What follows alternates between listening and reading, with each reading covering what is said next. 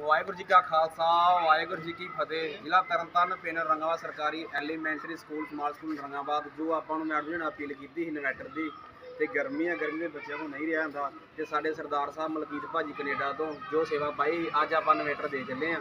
ਠੀਕ ਹੈ ਜੀ? ਤੇ ਬੱਚੇ ਕਿਦਾਂ ਲੱਗਦਾ ਸਾਨੂੰ ਇਨਵੈਟਰ ਦਿੱਤਾ ਕਿਸੇ ਨੇ ਤੇ? ਵਧੀਆ ਲੱਗਾ ਆ?